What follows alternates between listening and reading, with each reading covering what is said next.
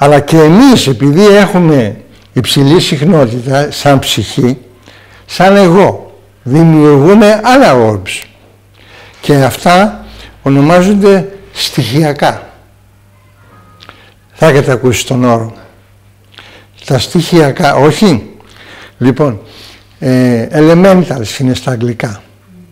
Είναι στοιχειώδη δημιουργήματα, ένα έντονο συνέστημα το οποίο μπορεί να έχουμε, το οποίο πάλι μέσα μας, ουσιαστικά μπορεί να καταλήξει σε κάποιο όρμπο, το οποίο αισθάνεται, αισθάνεται αυτά τα οποία ε, εμείς αισθανόμαστε γιατί είναι, είναι, είμαστε εμείς. Εντάξει. Προσέξτε τώρα. Όταν εγώ δημιουργήσω ένα όρμπ εκφράζοντας τα δικά μου συναισθήματα Σαν να υλοποιείται το συνέστημα. Ορίστε. Σαν να υλοποιείται το συνέστημα το ίδιο. Βεβαίως υλοποιείται το συνέστημα, αφού ενέργεια είναι. Λοιπόν, ε, υλοποιείται το συνέστημα και αποτελεί, έχει μια συχνότητα σχετικά περιορισμένη. Εάν τώρα πρόκειται για, ε, για orbs και για σκεπτομορφές που έχει δημιουργήσει η ψυχή,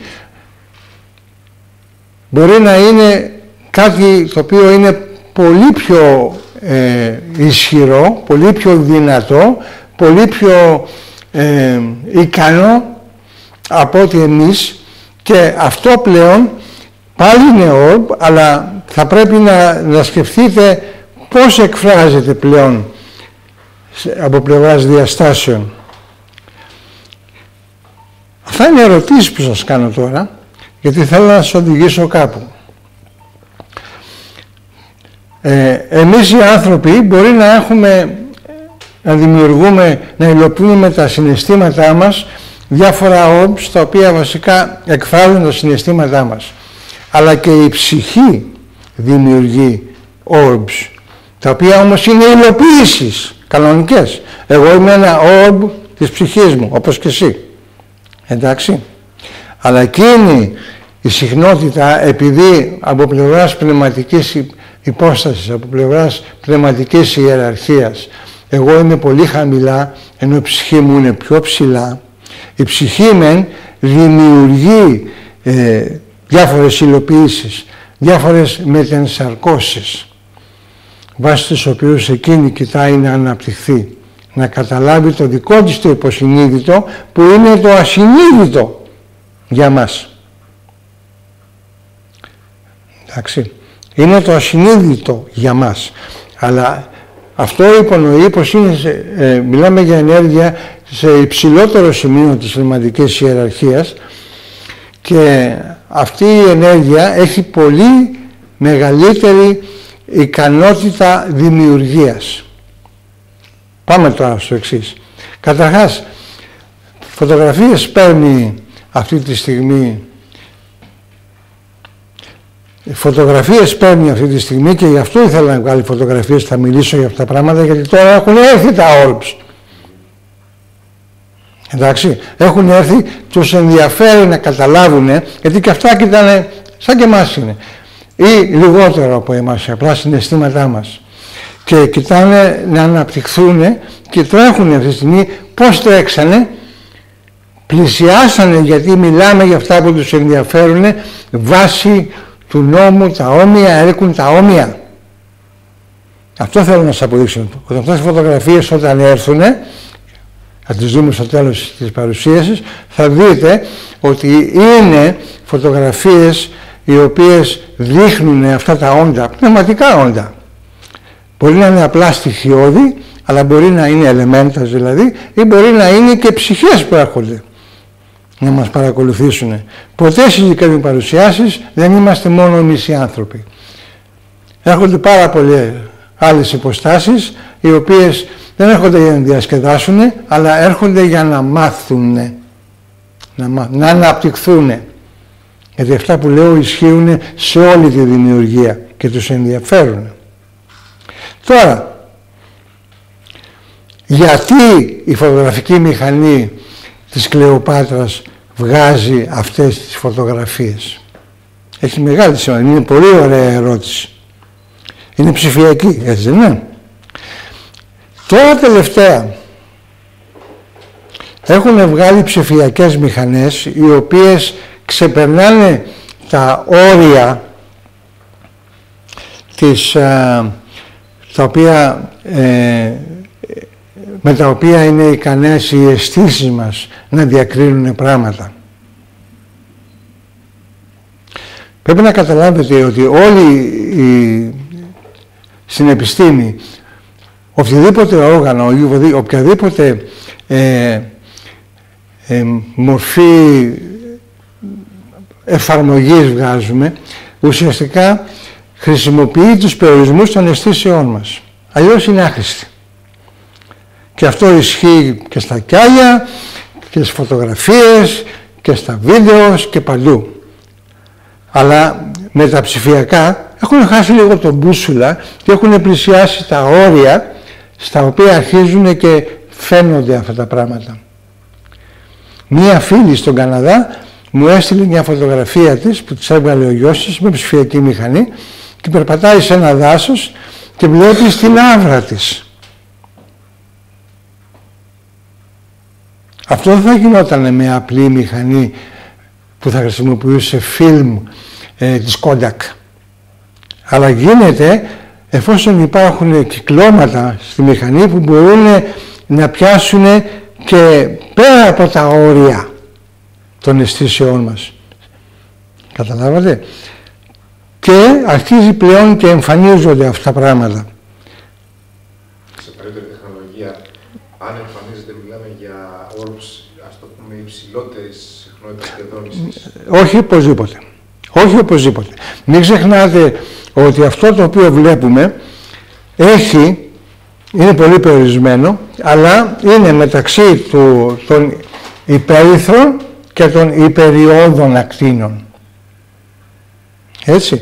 Αν είναι στα όρια των υπεριόδων ακτίνων, μιλάμε για ψυχή. Εντάξει.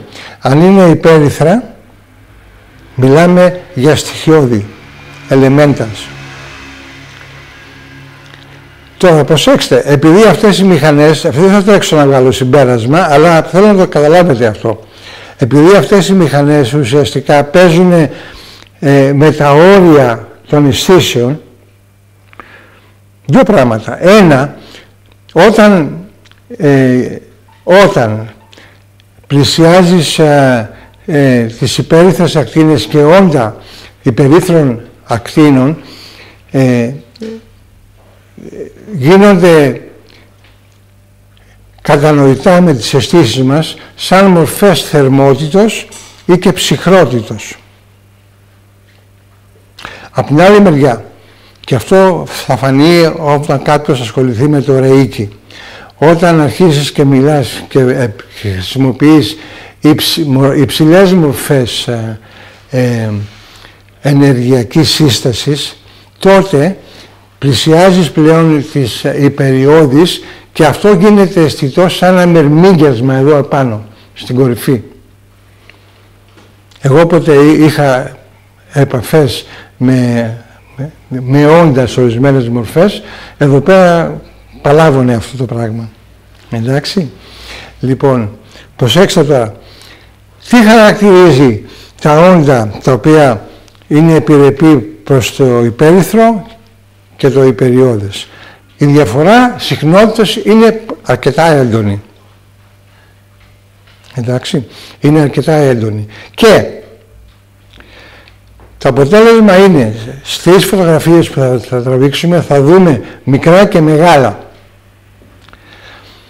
Από δικά μου, δικά μου εμπειρία που είχα όταν είχα περάσει απέναντι και κυκλοφορούσα με ψυχές, εκείνο το οποίο παρακολούθησα είναι ότι τα όμπις ήταν πολύ μικρά αλλά ήταν απόλυτα καθορισμένα. Από την άλλη μεριά, όταν κοιτάξεις τα άλλα orbs, είναι μεγαλύτερα, είναι μεγαλύτερα. Γιατί είναι μεγαλύτερα, γιατί έχουν μεγαλύτερη πυκνότητα και μικρότερη συχνότητα. Προσέξτε, είναι ένα πολύ ενδιαφέρον στοιχείο το οποίο θέλω να το προσέξετε και να το, να το, να το, να το ξεκαθαρίσετε στο μυαλό σας και σιγά σιγά θα το αποκρισταλώσουμε, αλλά το μέγεθος δεν έχει σημασία, παιδιά. Το μέγεθος είναι αποτέλεσμα της πυκνότητας. Εντάξει. Η λαμπρότητα είναι αποτέλεσμα της συχνότητας. Εξαρτάται από το τι είναι το κάθε δημιούργημα, αν είναι πλήρης ψυχή, σε ανεπτυγμένη ε, προσωπικότητα ή αν είναι ε, απλώς η υλοποίηση ενός συναισθήματος το οποίο ε, είναι μέρος μας εκφράζει το δικό μας τρόπο σκέψεως και ουσιαστικά είναι αποτέλεσμα του τι αισθανθήκαμε σε μια συγκεκριμένη στιγμή. Αυτό είναι φανερό πως είναι πολύ χαμηλά. Εντάξει. Λοιπόν, εξαρτάται. Πάντως, όταν δούμε αυτές τις φωτογραφίες, ελπίζω να υπάρχουν αρκετές υποδείξεις, βάσει των οποίων να μπορέσουμε να αρχίσουμε να σκεπτόμαστε τι είναι τι. Σκεπτομορφές είναι, αλλά πιανού. Ενός μιας θεματικής υπόστασης ανώτερης ή ε, δικά μας συναισθηματικά κατασκευάσματα, δηλαδή elementals, στοιχειώδη. Και πώς το καταλαβαίνουμε. Ε, με αυτό λέμε τώρα. Ότι δεν είναι τόσο απλά τα πράγματα, πρέπει να το αναλύσουμε κλπ. Και το μόνο που μπορούμε να κάνουμε σε αυτό το σημείο είναι να δούμε τις διαφοροποιήσεις. Τίποτα άλλο, δεν μπορεί να είσαι σίγουροι ακόμα. Αλλιώς θα φτάσεις στο σημείο να λες ε, ε, συγγνώμη, θα φτάσεις στο σημείο να βάζεις ένα όνομα βάσει της δικιάς σου κρίσης η οποία είναι υποκειμενική. Αυτό δεν είναι αρκετό. Στη δικιά μου τη θεωρία χρησιμοποιώ την επιστημονική θεώρηση πάρα πολύ. Έστω και αν είναι της μορφής το ότι μαζεύω πάρα πολλά παραδείγματα, θα κοιτάω να τα εξηγήσω και τελικά δημιουργείται μια, ένα θεώρημα που βασίζεται στις, στην στατιστική ανάλυση. Οπότε μεταξύ τι λέω, αυτό μπορεί να είναι έτσι. Τι πώς το καταλαβαίνουμε, θα το καταλάβεις σιγά σιγά. Θέλει πολύ δουλειά. Μην βιάζεσαι, αυτή είναι η ομορφιά της μεταφυσικής. Δεν βλέπεις τίποτα, τίποτα δεν βλέπεις, αλλά όλα αυτά υπάρχουν. Και αυτό μας δίνεται μια ευκαιρία τώρα, από εκείνη την πρώτη σου ερώτηση και σκεπτομορφές, να το αναλύσουμε και να φτάσουμε σε ένα σημείο στο οποίο να, ε, να δημιουργήσουμε βαθύτερη κατανόηση. Και μην νομίζω ότι υπάρχουν πολλοί που έχουν σκεφτεί αυτά τα πράγματα. Εντάξει. Σου είπα, μπορεί να είναι απλώς ένα συνέστημα το οποίο ήταν αρκετά έντονο και υλοποιήθηκε ή μπορεί να είναι ψυχές που μπορεί να μην είναι δικές μου ή δικές σου, αλλά να είναι της πνευματικής υπόστασης η οποία μας έχει δημιουργήσει. Μπορεί να είναι ένα, μια άλλη υλοποίηση στην ψυχική της μορφή που ανήκει στον εκτενήσιο εαυτό. Που είναι κάτι άλλο, το πούμε σε μια άλλη παρουσίαση. Εντάξει, μην βιάζεσαι. Σκέψτε τα όλα αυτά, γιατί έχουν μεγάλη σημασία. Θυμάμαι ε, μια φορά ε, είχα ένα μαθητή ο οποίος ε, είχε σπουδάσει ρεϊκή μαζί μου και ήθελε και πήγε και αγόρασε μια μηχανή η οποία έπαιρνε ταινίες με υπέρυθες, με υπέρυθες ακτινοβολίες. Και μου ζήτησε σε απόλυτο σκοτάδι και ενώ η μηχανή μας έπαιρνε να του δώσω ρεϊκή. Εντάξει. Λοιπόν, και αφού έγινε αυτή η μαγνητοσκόπηση, μετά το είδαμε και τι είδαμε. Ενώ εγώ του, του έδινα ρεϊκή, ξαφνικά ήρθε ένα όρμπ, μικρό όρμπ, μας τον πλησίασε, με πλησίασε κλπ. Κατόπτευσε και πολύ αργά πάλι έφυγε. Έκανε την βόλτα του. Και ήταν περίεργο να έρθει να δει τι γινότανε. Εντάξει. Μα η περιέργεια δεν είναι συνέστημα. Η περιέργεια δεν είναι συνέστημα, είναι ιδιότητα. Του πνεύματος. Ιδιότητα. Μην μπερδεύουμε τα πράγματα. Τα συναισθήματα, υπάρχουν συναισθήματα τα οποία έχουν άμεση σχέση ε, με τις αισθήσεις μας. Φερρυπίν, αν εσύ αισθάνεσαι ζέστη, είναι, είναι, είναι, είναι αίσθημα.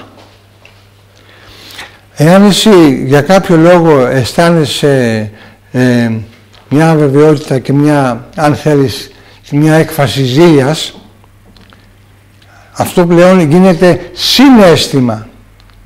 Είναι κάτι το οποίο είναι απόλυτα νοητικό. Έρχεται σαν αποτέλεσμα του τρόπου με τον οποίο εσύ εκφράζεις τη συνειδητότητά σου, όχι των αισθήσεών σου. Υπάρχει διαφορά μεταξύ αισθήματος και συναισθήματος. Τεράστια διαφορά. Στο βιβλίο το οποίο έχεις, έχω ορισμένους τύπους, ο οποίους δείχνω ότι το συνέστημα, συγγνώμη, το αίσθημα είναι συνάντησης των αισθήσεών μας. Ενώ το συνέστημα είναι συνάρτησης συνειδητότητας, της αντίληψής μας. Γιατί μπορεί να συμβεί κάτι σε, σε, εδώ μέσα και είμαστε ας πούμε 8 άτομα, ε, τα, 8, τα 8 αυτά άτομα ε, θα έχουν διαφορετικό συνέστημα. Είναι πολύ προσωπικό το συνέστημα. Το αίσθημα είναι πιο, πιο κοινό γιατί οι αισθήσεις μας είναι παρεμφερείς. Εάν δηλαδή ξαφνικά ε, πέσει, πέσει κρύο ξέρω εγώ στην Κόρινθο και αρχίσουμε και κρυώνουμε όλοι μας, είναι αίσθημα αυτό. Εντάξει. Από την άλλη μεριά, το θέμα της περιέργειας κλπ. δεν είναι συνέστημα, είναι ιδιότητα την οποία έχει ε, ε, η πνευματική μας υπόσταση βάσει της οποίας ψάχνεται την ενδιαφέρει να μάθει και άλλα πράγματα και άλλα πράγματα και άλλα πράγματα. Στην ιδιότητα. Εντάξει. Η περιέργεια έχει κακιά μορφής περιέργειας; Ανάλογα πώς θα δίνει εκφράσεις. Αν θέλει να κάνεις κακό, τότε γίνεται κακή.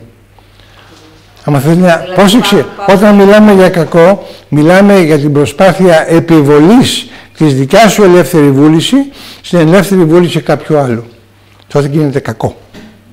Άρα πλέον σταματάει να είναι ιδιότητα, περιέργεια όταν είναι κακό; Όχι, αλλά οδηγεί σε κακά συναισθήματα. Η περιέργεια, ναι. η περιέργεια μπορεί να είναι ιδιότητα, αλλά οδηγεί, ε, πώς εκφράζει την ιδιότητα, οδηγεί σε συναισθήματα. Δηλαδή σου δίνονται ευκαιρίες να ζήσεις εμπειρίες, τις οποίες θα μεταφράσεις όπως εσύ είσαι προετοιμασμένη να μεταφράσεις, με αποτέλεσμα να κάνεις κακό ή να κάνεις καλό. Εντάξει. Σιγά σιγά. Είναι λεπτές αυτές οι έννοιες. Εντάξει.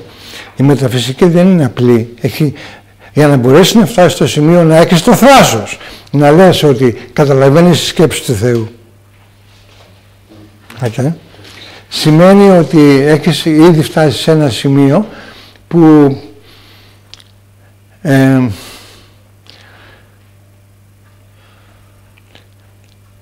βάσει του οποίου σημείου ε, ε, είσαι αρκετά ανεπτυγμένη για να μπορείς να καταλάβεις πράγματα που δεν καταλαβαίνουν οι άλλοι. Σε μεγάλο ποσοστό πλέον μπορείς να, μπορείς να τολμήσεις να πεις ότι ζεις περισσότερο στο νοητι, με το νοητικό σου σώμα από ότι με το συναισθηματικό ή και το φυσικό.